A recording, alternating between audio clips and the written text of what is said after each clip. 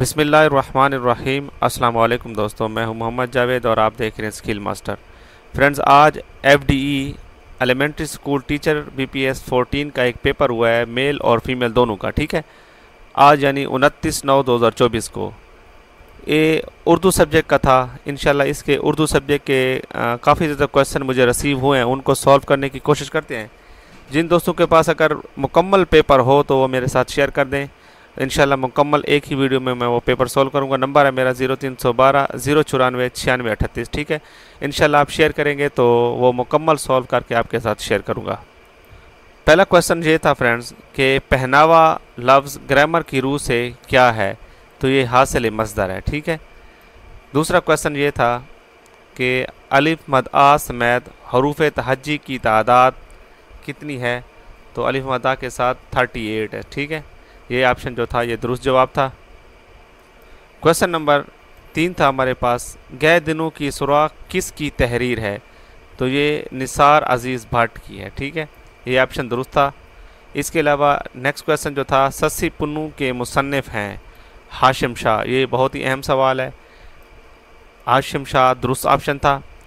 ایک اور کویشچن تھا، بلکہ لیکن اور مگر۔ یہ کون سے حروف ہیں؟ تو یہ حروف استدراک ہیں، ٹھیک ہے؟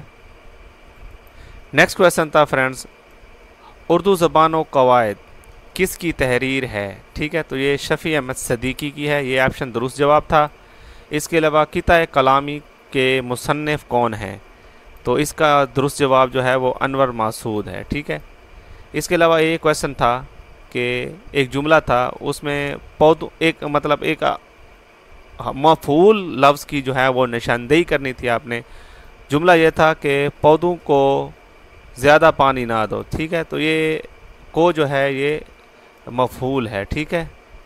برحال ان کو یاد رکھیں، علامت فائل جو ہے وہ نے ہوتا ہے اور علامت مفول جو ہے وہ کو ہوتا ہے۔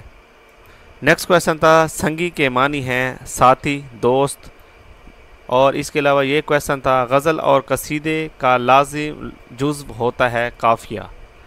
اس کے علاوہ فتح مترادف ہے، فتح کا مترادف جو ہے وہ ظفر ہے۔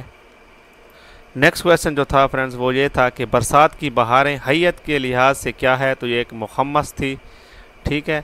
عروج کا مترادف اقبال، یہ آپشن درست تھا۔ اور کویشچن تھا، افسانہ الحمد کے مولف ہیں احمد ندیم قاسمی۔ ٹھیک ہے، یہ آپشن درست جواب تھا۔ اس کے علاوہ فرینڈز، اہم کویشچن تھا گرامر سے۔ اسم اور فیل کے درمیان تعلق قائم کرتے ہیں۔ حروف جات جنہیں ہم انگلش میں پروپوزیشن کہتے ہیں۔ اس کے علاوہ یہ بھی کویشچن تھا، شکوہ، جواب شکوہ کس کتاب کا حصہ ہے؟ تو یہ علامہ اقبال صاحب کی کتاب باغ درا کا حصہ ہے۔ نیکسٹ کویشچن تھا فرینڈز، گرامر کے لحاظ سے، لفظ جو کسی دوسرے لفظ سے نکلے، کہلاتا ہے۔ مشتق کہلاتا ہے۔ نیکسٹ کویشچن تھا، مصدر جو فائل کو چاہیے، لاسے میں مصدر، ٹھیک ہے؟ یہ آپشن درست جواب تھا۔ اس کے علاوہ یہ کویشچن تھا، ولی سے اقبال تک کس کی تحریر ہے؟ ڈاکٹر سید عبداللہ، یہ آپشن درست جواب تھا۔ نیکسٹ کویشچن تھا تذکہ بابری ہے۔ تو یہ تذکہ بابری جو ہے، اس کے مصنف جو ہیں، وہ ظہیر الدین محمد بابر، مغل بادشاہ تھے۔ یہ ایک سوائن عمری یا آپ بیتی اس کو کہہ سکتے ہیں، ٹھیک ہے نا؟ اس کے علاوہ کویشچن تھا، آتے جاتے اور لکھے پڑھے، ٹھیک ہے؟ فیل کی کون سی قسم ہے؟ تو یہ فیل مزارے ہیں، ٹھیک ہے؟ اس کے علاوہ ارکان استارہ کتنے ہیں؟ تو یہ تین ہیں، ٹھیک ہے؟ نیکسٹ کویشچن جو تھا فرینڈز وہ یہ تھا، ایک شعر تھا، تو میرے پاس ہوتے ہو گویا جب کوئی دوسرا نہیں ہوتا، تو یہ مومن کا شعر تھا، ٹھیک ہے؟ اس کے علاوہ نیکسٹ کویشچن جو تھا وہی خدا ہے، ٹھیک ہے؟ اس کے مصنف کون ہے اس کی تو اس کے مصنف جو ہے وہ مظفر وارسی ہیں۔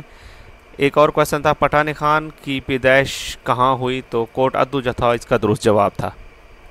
فرینڈز یہ، یہی کویشچن مجھے رسیو ہوتے، اگر کسی دوست کے پاس اگر پیپر ہو تو وہ مجھے لازمی سینڈ کر دیں، انشاءاللہ مکمل سالو کر کے شیئر کروں گا۔